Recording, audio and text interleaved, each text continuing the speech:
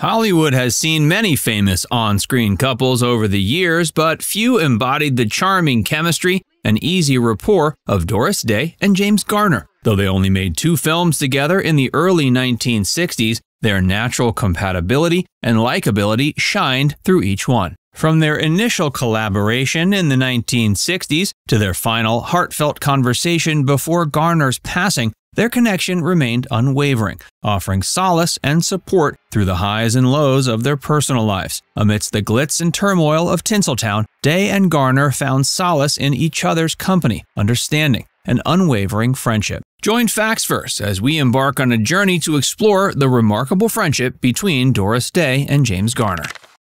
Instant on screen chemistry. When Day and Garner first shared the screen in the 1963 romantic comedy The Thrill of It All, their effortless chemistry captivated audiences. As soon as the cameras started rolling, the two stars clicked and brought an effervescent, hilarious dynamic to their scenes together. In the film, Day plays Beverly Boyer, a housewife who becomes the spokesperson for Happy Soap after being overheard gushing about it to a neighbor. Her doctor husband, Gerald, played by Garner, isn't thrilled that her new job keeps her away from home. Though the plot centers around the conflict between the couple's domestic and professional lives, Day and Garner make every moment they're together on screen pure delight. As Gerald, Garner masterfully plays off Day's vivacious charm with amusing exasperation highlighted in scenes where he struggles to care for their young children while she's off filming commercials. Yet the true magic happens when the characters clash and flirt, with Garner effortlessly sparring with Day's whip smart comedic timing. Like in the scene where Gerald grabs Beverly's wrist to stop her excited gestures, only to end up gazing into her eyes and pulling her in for a kiss. Day's unique talent for blending wholesome sexiness and humor shines through Beverly's infectious enthusiasm about her soap career, clashing with her domestic duties. All that natural charisma allowed her to transform amusing misunderstandings with Garner into laugh out loud highlights. Director Norman Jewison knew putting these two gifted performers together would be cinematic gold. The thrill of it all became a top box office hit, and the undeniable chemistry between Day and Garner made them a perfect on screen match.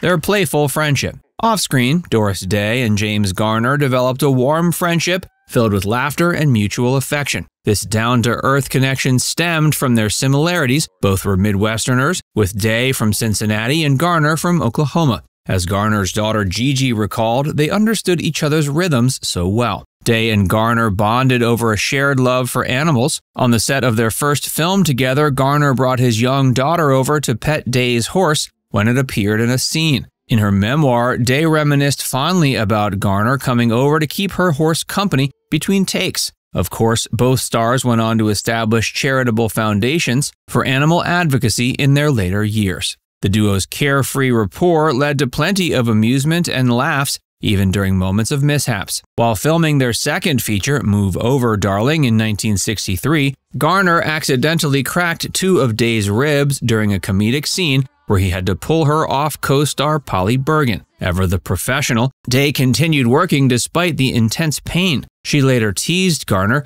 saying she forgave him for breaking her ribs, both of them, and told him not to give it another thought. Day described having great fun with Garner on set, highlighting his humor and kindness. She quipped about their lasting friendship, mentioning that she felt as if they were married. Over the years, despite not seeing each other often, they stayed connected through regular phone calls, which Day had to instigate since Garner disliked talking on the phone. Their light-hearted dynamic persisted in these long conversations, with Day asking if he could pick up a phone and Garner just grumbling in response. Even when Day faced difficult times like financial hardship, her steadfast friend Garner offered support. Their relationship embodied camaraderie, laughter, and true affection. Day once remarked that they had fun, that he was a marvelous actor, so nice, and she just loved him. For his part, Garner said he wished he could have done 50 more pictures with her. Their playful bond outshined their limited screen time together. Garner's deep admiration for Day. While Doris Day charmed audiences with her triple threat talent and girl next door likability, co star James Garner was just as captivated by her gifts and character behind the scenes. Garner was effusive in his praise for Day's acting ability, describing her as the Fred Astaire of comedy. Like Astaire elevated whoever he danced with, Garner explained Day had the talent for making everyone in a scene look good. He said that walking onto set, he would have a preconceived notion of how to play a moment, but when seeing Day's take, he mentioned that 99.9% of the time he would toss his preconception away and play it with her. According to Garner, Day was so adept that making a movie with Doris was a piece of cake, a sexy ride on her coattails all the way. Whether in tender romantic scenes or big comedic moments, he found working with her almost effortless. When speaking of Day, Garner declared she was one of the two sexiest leading ladies he had ever starred with, ranking her right up there with Julie Andrews. Describing what made Day so magnetic, he shared that Doris didn't play sexy, she didn't act sexy, she was sexy. She attributed her appeal to a sexy whirlpool frothing underneath her all American girl exterior. In an eloquent essay about Day, Garner expounded on her persona that charmed him as much as audiences. He recalled the first time seeing her light up the screen, feeling amazed by her beauty, voice, and star power. Garner mused that Day's sexiness combined with innocence and earnestness had enabled her success. He mentioned that he didn't think she could have achieved the success she's had if she didn't have this sexy allure simmering beneath her all American girl exterior. Like plenty of devoted fans, Garner found Day stunning and charming, but as her friend and collaborator, he also deeply appreciated her talents and saw qualities that further distinguish the woman behind the Hollywood legend.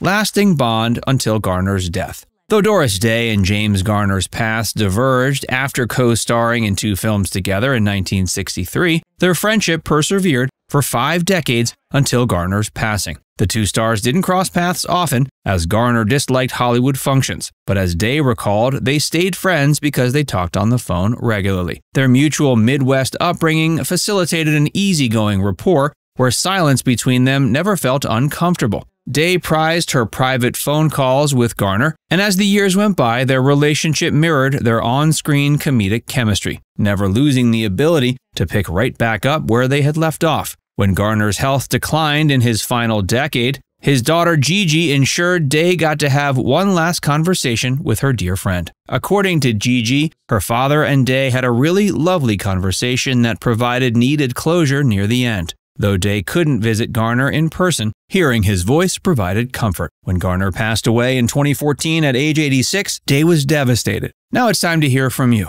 Did you realize that Doris Day and James Garner were so close? Let us know in the comments section below.